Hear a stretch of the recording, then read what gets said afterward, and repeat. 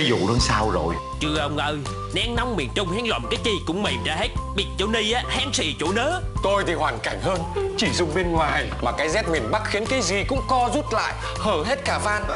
Vậy thì mấy ông phải xài hàng chất lượng thôi. Đúng thật Ống nhựa UPVC, HDPE, PPR và phụ kiện của thương hiệu Hoa Sen được sản xuất trên dây chuyền công nghệ Đức đạt chuẩn quốc tế. Ống nhựa hoa sen Đúng là vừa tốt luôn à Lại bền trong.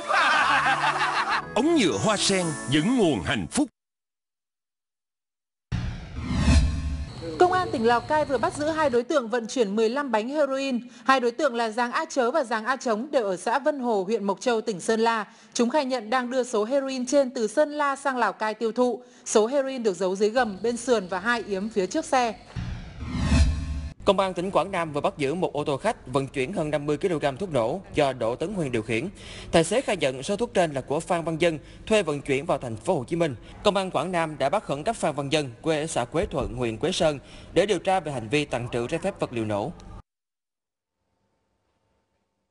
Quý vị đang theo dõi chương trình chống buôn lậu hàng giả, bảo vệ người tiêu dùng. Thưa quý vị, Lạng Sơn là tỉnh có đường biên giới dài với nhiều đường mòn và lối mở. Các đối tượng buôn lậu ở đây đã lợi dụng địa hình hiểm trở để tuồn thực phẩm bẩn không rõ nguồn gốc nhập lậu vào nội địa để tiêu thụ. Thủ đoạn của chúng thì ngày một tinh vi và liều lĩnh hơn. Tất cả đường mòn lối tắt dọc tuyến biên giới đều được lợi dụng. Rồi tranh thủ đêm hôm, các đối tượng buôn lậu thuê người lén lút vác những bao tải nằm từ bên kia biên giới vào nội địa. Hàng nhanh chóng được đưa lên xe cốc, xe máy chạy với tốc độ cao vận chuyển đi. Cái việc thẩm lậu này thường là các cái đầu nậu và các cái thuê các cái chủ vạn lợi dụng cái thời điểm đêm tối, cái thời điểm hàng hóa thông quan ra nhiều thì trà trộn và trong đó thì xuống thì ờ, qua cái công tác nắm tình hình và phối hợp ừ, chặt chẽ với lại lực lượng biên phòng và các lực lượng trên địa bàn thì chúng tôi đã cái thời gian qua thì chúng tôi đã bắt giữ được rất nhiều ờ, nhiều vụ và đặc biệt là cái thực phẩm bẩn Theo lực lượng chức năng, các đối tượng thường xuyên thay đổi cung đường vận chuyển. Chúng còn xé lẻ hàng hóa rồi vận chuyển bằng xe máy hoặc là xe tải loại nhỏ. Nguy hiểm hơn, chúng sẵn sàng đâm va khi bị lực lượng chức năng kiểm tra. Em mua thu gom tập kết của những người lấy ở đi Trung Quốc, đi làm từ Trung Quốc lấy về em thu mua gom lại em chuyển xe khách xuống bán cho những đồ quán đồ nướng dưới Thái Nguyên. Thống kê của Ban chỉ đạo 389 tỉnh Lạng Sơn cho thấy, gần 9 tháng qua đã phát hiện gần 1.200 vụ thực phẩm nhập lậu, thu giữ trên 13.000 kg da cầm thịt, 14.000 kg nầm lợn cùng với gần 100.000 đơn vị sản phẩm khác.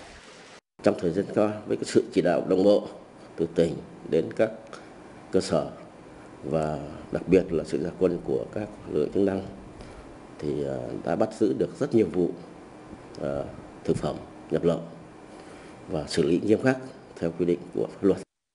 Theo lực lượng chức năng, để hạn chế thực phẩm bẩn không rõ nguồn gốc tuồn vào nội địa, ngoài tăng cường việc kiểm tra dọc biên giới, thì đồng thời cũng cần phối hợp với các địa phương xử lý nghiêm các cơ sở sử dụng và tiêu thụ thực phẩm nhập lậu.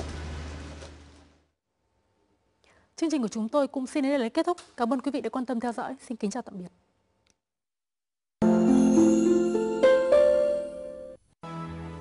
Ống nhựa hoa sen hân hạnh đồng hành cùng chương trình này.